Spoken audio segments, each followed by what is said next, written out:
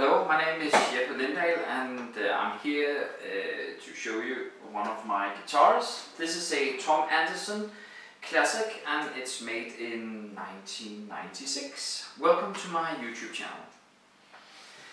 So, the Tom Anderson started building guitars uh, in 1984, 85, around that time. Didn't make many guitars the first years. In the 90s, if you believe the online forums, he made um, his best guitars. I'm not sure of that really. I've tried this one, which is from 96, and I've tried some of his later models. And uh, ah, there's not that much of a difference. Has the same kind of neck.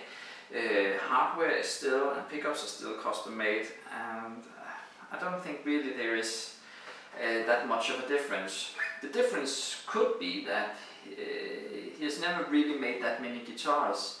I think in the 90s he built around six to 700 guitars a year and the latest um, here from 2016 in an interview uh, he stated that he made around 8 to 900 guitars a year. So these are custom ordered today um, so and they of course don't come cheap, but uh, compared to Gibson, Ibanez, Fender, etc., they're making thousand a day. So um, these are uh, rare and uh, also quite expensive.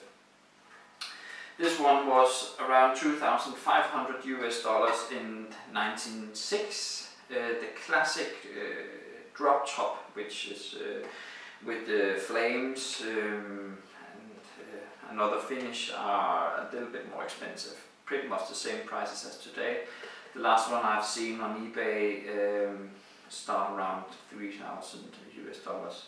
So basically this is a um, this is a very high-end guitar for sure. Has a very fast, very slim, very nice neck, maple neck, um, Stratocaster-like body, um, and kind of feels like balanced uh, like the PRS, very fine instrument, very lightweight as well.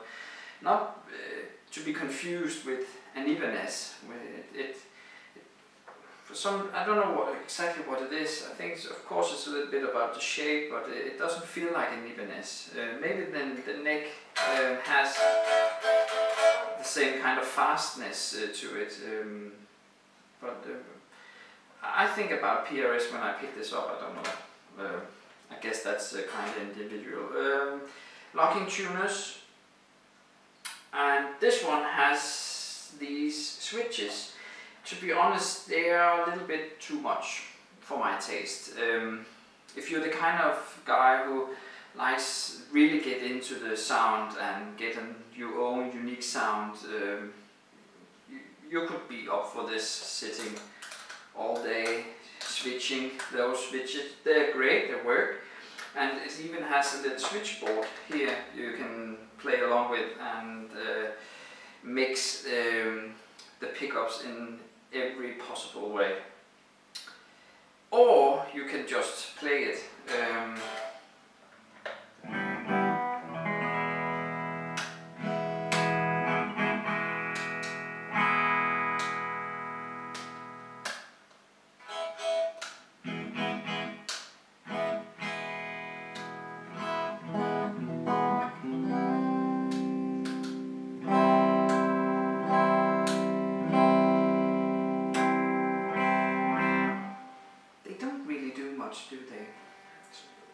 Little bit over the top. Um, I don't know what happened to to the freeway switch, but um, this is a little bit too much for my taste. But um, yeah, maybe that's just me.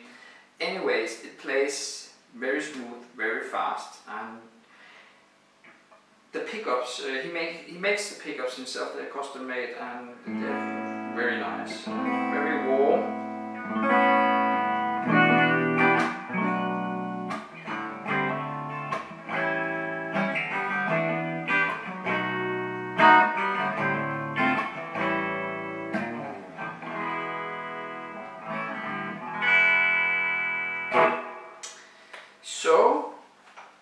Yeah, another feature here is it, it has the serial number here made in California and the serial number and you can actually type uh, the number in at the Tom Anderson webpage and it will tell you where the guitar, uh, when the guitar was made, what finish it has, what hardware it has, what neck it has and it actually works. I've, I've not, uh, I've, uh, I had a few of these Tom Andersons and they I've never had any issues with the typing in, you know, when you're trying to find the, uh, if, if, with a Fender or Gibson serial number, sometimes it's a, yeah, you don't really find what you're looking for, but uh, here it, it, this works. It comes with the original casing, uh, papers and everything. Um, so if you're looking to, to buy one, you should definitely check these Tom Andersons out. They are great guitars um, and if um, many stores do uh, contact Tom Anderson for getting some custom work and uh, you can get these custom made. I guess they are more expensive but if, if you're looking for very high end uh, guitar uh, you should check those out. So this was my review of uh, the Tom Anderson Classic. Um, great guitar, great investment I think. Uh, he probably will stop building within the next, I don't know, 15 years, 10 to 15 years and uh, with the amount of guitars he's made, uh, the prices will probably go up on these. So this could be a great investment to, to put some money in, um, in a good Tom Anderson uh, classic or drop. Okay, this was my review and thanks for watching and don't forget to check out some of my other stuff. Okay, hi hi.